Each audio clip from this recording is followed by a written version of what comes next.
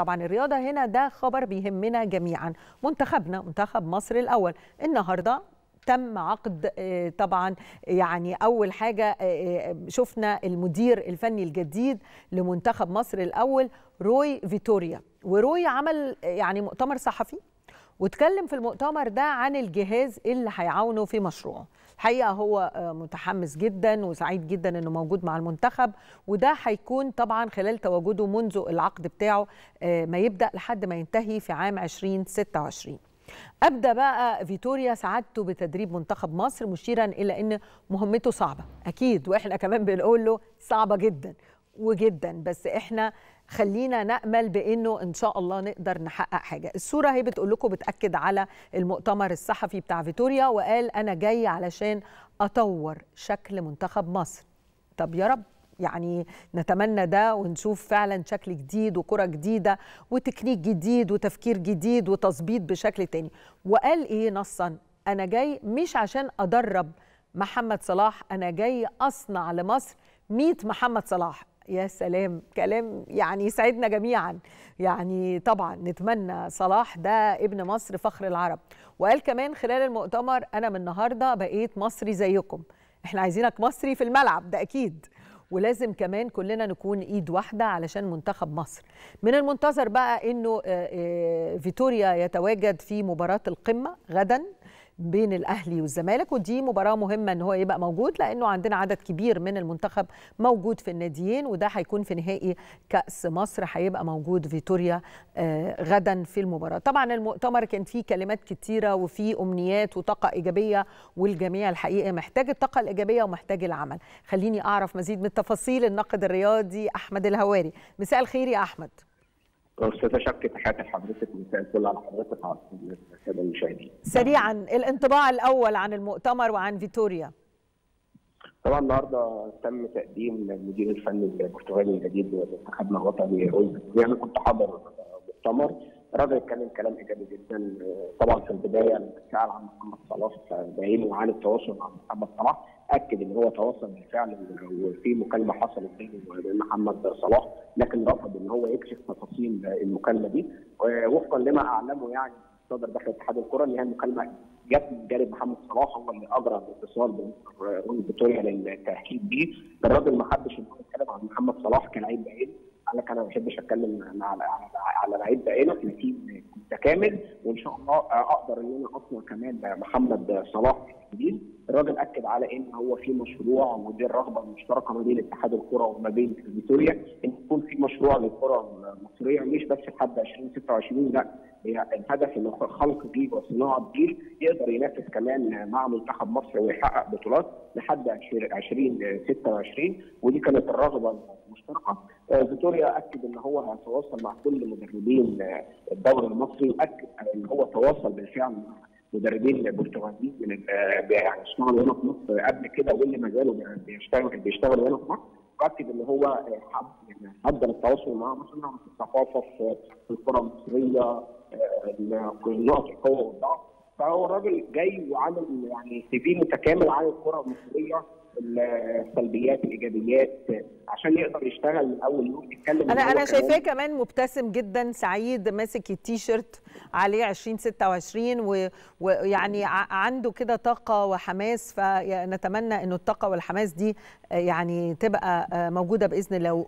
وجوده غدا بقى ما بين في في مباراة الكاس ما بين الأهلي والزمالك الوجود ده هو رايح بقى طبعا أكيد هو عنده سيديهات وبيتابع كل اللعيبة لكن هنا وجوده كمان فيها متابعة كبيرة للمنتخب لأنه عدد كبير من لعيبة المنتخب موجودين في الأهلي والزمالك. أكيد زي ما حضرتك قلتي خليني أكد لحضرتك إن هو الراجل بمجرد في جلسته مع كابتن حازم إمام في البرتغال وقت توقيع توقيع العقود آه لما عرف إن في نهائي بيجمع بين أهم فريقين في مصر أو قطبي الكرة المصرية فضل إن هو يكون موجود. يعني هو مسافر يوم الجمعة يعني الماتش بكرة الخميس هو مسافر ثاني يوم الماتش على طول لكن وراجع البرتغال لكن هو فضل إن هو يكون موجود هنا. إنه يحضر المباراة.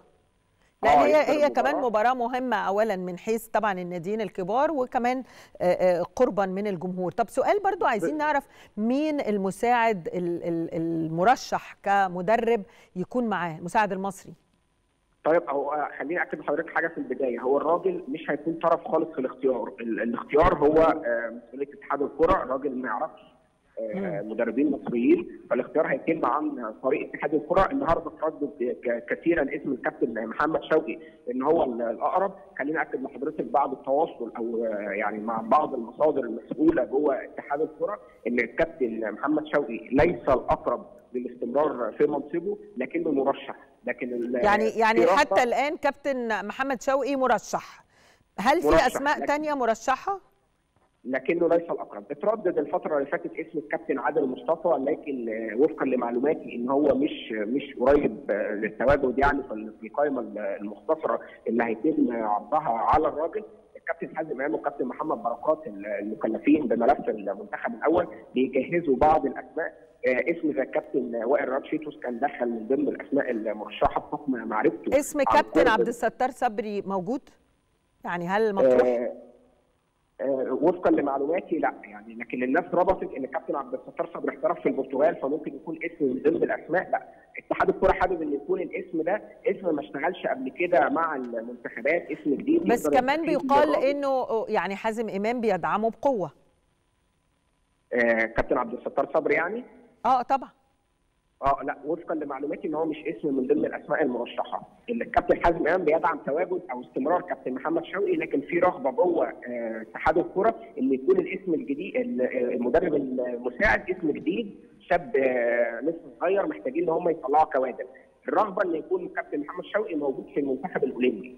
يعني هي الرغبة دلوقتي طيب لكن لكن. أنت بتؤكد إن فيتوريا ملوش دخل وده اختيارات اتحاد الكورة وهو مش هيعمل interview هات يعني يعني مش هيقعد مع المساعد أو يعمل interview علشان يتأكد أو يبقى مطمن إن ده المساعد بتاعه يعني ده متروك لا. لاتحاد الكورة تماما بالظبط بالإت- أنا النهارده اتكلمت مع بالاتفاق. الاتحاد كابتن بركات وكابتن حازم امام يعني اتكلمت معاهم كلهم بعد المؤتمر فبأكد لحضرتك تماما إن اختيار المدير المدرب المساعد مع فيتوريا هيكون عن طريق اتحاد الكره وليس للمدير طيب. أخيرا آه، يعني أخيرا برضو أحب أعرف منك مين المدير مين مدير الكورة؟ مين اللي هيبقى موجود؟ مدير المنتخب هل كابتن حازم إمام آه، كمرشح أو آه، محمد بركات؟ كابتن محمد طيب بركات. هو كابتن الكابتن حازم إمام والكابتن محمد بركات بصفتهم كأعضاء مجلس إدارة في اتحاد الكرة هم هيكونوا مشرفين على المنتخب الأول وليس أي منهم هيكون مدير للمنتخب.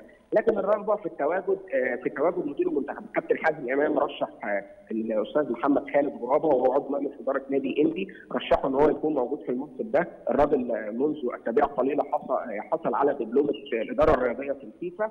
فالرغبه من الكابتن حازم إمام إن هو يكون موجود لكن برضو خلال اجتماع مجلس الإدارة المقبل هيتم حسم الأمور دي كلها والاستقرار على مدير المنتخب مين وأيضا كمان استقرار الاستقرار على اسم المدرب طيب يبقى إحنا ما زلنا في انتظار مين الم... مين المرشحين سواء للمساعد والاسم المطروح حتى الآن كابتن محمد شوقي وفي انتظار كمان مين مدير الكرة ومدير المنتخب في الانتظار.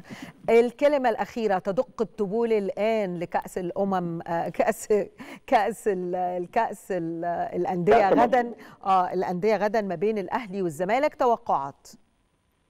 آه، طبعا هي أكيد المباراة صعبة. الفريقين عندهم غيابات. الزمالك كان أعلن قائمته منذ ساعات قليلة النادي الأهلي بيتحفظ على إعلان القائمه وفضل عدم إعلان ال- القائمه و- وتواجد كل اللعيبة الجاهزين في المعسكر. أكيد مباراة صعبة صعوبة المباراة كمان في إن ما زالت المنافسة على لقب الدوري حتى الآن قائمة. فده اللي مخلي الفريقين آه، يعني بيستهدفوا آه، بقوه حظ لقب الدوري لأن لقب آه، عفوا لقب الكاس لأن ده هيدي الفريق اللي هيفوز بلقب ال- ال- الكاس هيدي دفعة كبيرة لل- للفريق ال- المتوج باللقب غدا إن هو يواصل منافسته على لقب الدوري وفي نفس الوقت الفريق اللي هيخسر لقب بكرة يعني اللعيبة أكيد بشكل كبير هتتأثر خاصة اللي بعد 48 ساعة الزمالك عنده ماتش سموحة والأهلي عنده آه، مباراة صعبة قدام فريق الجونه فبنتكلم إن أكيد بكرة ماتش صعب على الفريقين وده اللي كل مدير فني اتكلم فيه مع لعيبته. الزمالك يعني مراهن على اللعيبة الشباب إن هم يقدروا يتوجوا بأول بطولة ليهم بكرة. و آه، سوارش خلال الأيام اللي فاتت اشتغل نفسيا مع لعيبة النادي الأهلي خاصة بعد هزيمة آه، الأهلي من بيراميدز. فمباراة أكيد صعبة. الحظوظ متساويه من وجهه نظري مفيش فريق اقرب خالص يعني.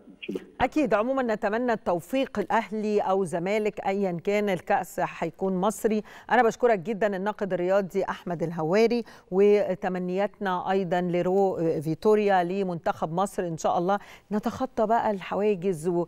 ونشوف بقى رياضة صح ونشوف تكنيك ونشوف اتحاد كرة قوي ونشوف يعني كل حاجة بقى تنظم والأوراق والمواعيد والمواعيد الدوري على فكرة بالمناسبة مواعيد الدوري الأسباني طلعت لقدام سنين يعني كمان سنة يعني المباراة إمتى والساعة كام وكده مواعيد الدوري الإنجليزي نفس الشيء. فنفسنا بقى في هذا الاحتراف يعني نبقى عارفين المواعيد مش لسه بنلعب مباراة في آخر السيزون بعد والكاس يدخل في الدوري والدوري يدخل في الكاس. فنفسنا الحقيقة في هذا التنظيم كله بإذن الله.